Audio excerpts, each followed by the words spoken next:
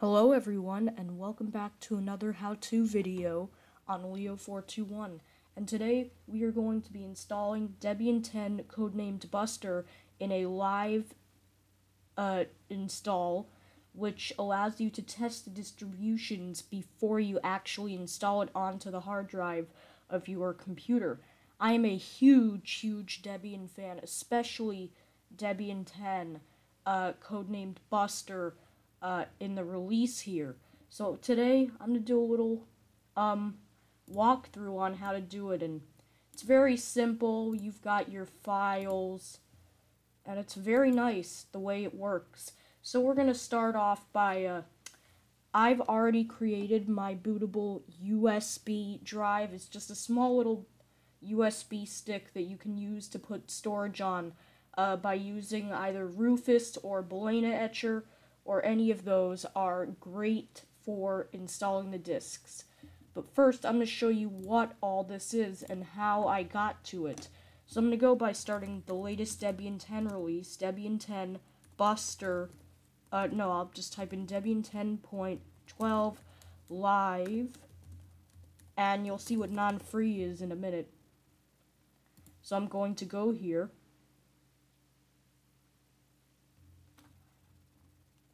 And you'll see that we have the latest release.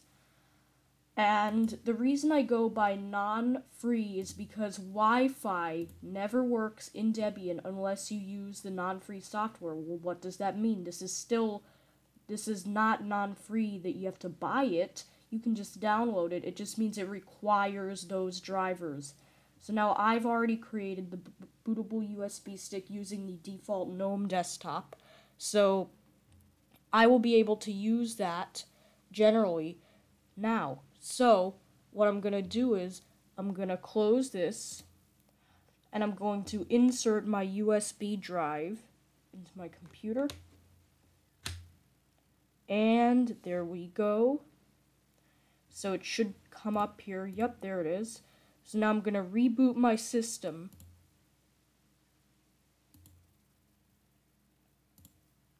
And I find that most computers, in this case my Dell Latitude 3390, uh, is by clicking F12, which gives me the boot menu, which you can't see right here. I don't know why that is. Uh, for some reason, it just doesn't show it. So I'm going to click on the UEFI uh, Memorex USB flash drive, which is correctly mine. Uh, you can use your arrow keys to select. I'm going to click on that and we get the annoying beep and you're going to simply want to press the very first option which is by clicking enter here. And now I'm not sure why you can't see it on here. I could try to uh, deactivate. And yeah it's not gonna work uh, right now. So I'm just gonna click enter. So now you could probably see my desktop. Up oh, there we go. See, now it's loading up here.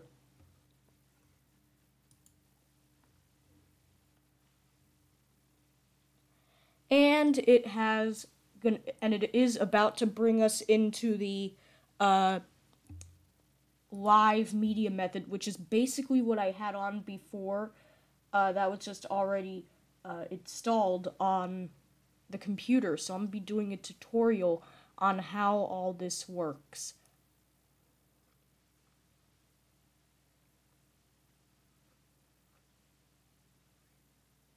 And it should be popping up in just a moment here. There we go. Now you probably have a black screen, that's what I have. And now I have a cursor. See, it should be popping up in just a second. And there we go. So we have the uh, Debian desktop. I'm actually going to go to the display uh, settings real quick so you can see everything. Uh, there we go. Now you can see everything that's on here. So now what we do want to do is click the activities menu and simply click on this icon right here, install Debian. And this is going to bring up a brand new installer that was released in this Buster release, and it's called the Calamares installer, which is much, much more simpler than a regular than a regular installer uh, like previous used in 6, 7, 8, and 9. This one is great. You can still use the other method, which I'll have, uh, I have on using, I believe, Debian 9 or something. I've got something like that. I don't know if I uploaded it, but the simply just select your language, which I'm just going to keep at American English, if that's what I can see. Yep, right there. So we'll click next. And here it shows where we want to locate. Uh, I'm going to go by Los Angeles. And I'm not going to connect to Wi-Fi, even though, see here, this is where you can connect to Wi-Fi on here. So next, what we want to do is click on Los Angeles, which is close enough to me. and here, we can see uh, keyboard layouts, which I believe that this is correct by default, and you can type here to test your keyboard.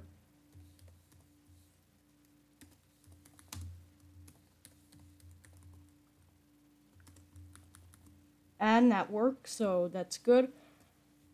And I'll click out of that and click next. Okay, so here is the partitioning menu, and what I'm going to do is I'm just going to replace a partition with Debian 10. That way it gives you a little more space, and I'm just going to click here, which is where I can do it. You can either install alongside to shrink a partition to make room for Debian 10, or you could erase the disk completely and restart your entire system. Or you could always just do it manually. and I'm going to click the yellow partition, which is the biggest, and click next. Now here is where you will have to uh, select a um, your name, a username, and you can name your computer. Like I, I could say like laptop and a bunch of numbers, and I could do the same thing with that. And of course, choose a password to keep your account safe. Or you could just log in automatically without asking for the password which I don't recommend for uh, users that like to be secure. but of course, you can always turn that option on if you like. So I'm going to pause here and I'm going to do that information and I'll be back in just a bit. Okay, so I finished doing that and what I did was I just clicked next and this is the final look to see if we really do want to install Debian uh, for our, um, you know, um, basic reviews um, in showing what's going to happen once you start the install process. So what I'm going to do is I'm going to click install and away we go. Welcome to Debian GNU Linux. The rest of the installation is automated and should complete in a few minutes. Now I find if uh, once you get to the I find 19% or 26%, uh, I've had that where it gets stuck for at least five minutes or more. Um, don't worry if you don't see your bar moving. Uh, it's because it just takes a while. Uh, but the re- the rest of the installation is really it doesn't take long. Just besides when it once it passes nineteen or twenty six percent, uh, that's usually when it's pretty much completely done. So I'll pause here, and then it usually just goes all the way to 100 in like a minute. So that's it for now. I'm to pause, and I'll be right back once it has gotten to 100. It's about five minutes later, and I noticed that we just got to 20. Uh, so yeah, uh, I told you that it can take a bit of time, but I bet this will be going in just a few minutes. Okay, so the installation is complete. So now what I'm going to do is I'm going to click done, restart now, and once your system has shut off completely and rebooted, immediately once the system is powered off, unplug your USB stick. So there we go. And now my system is once I don't see Debian anymore there we go it's off I unplug the USB stick. And now I'm just gonna wait oh I have the uh, menu which is great so I'm gonna click on Debian GNU Linux. And I should have a login screen on there. So hopefully let's see there we go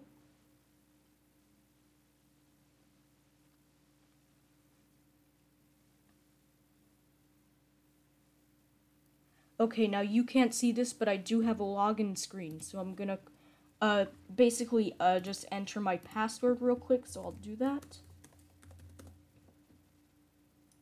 And we see the default Debian desktop here. So that means our installation was successful. So now I'm just going to make sure everything works and it appears to work. I'm not connected to Wi-Fi right now because I'm not going to show that, but I hope this installation video was successful, and I will see you guys next time. Thanks so much for watching this tutorial.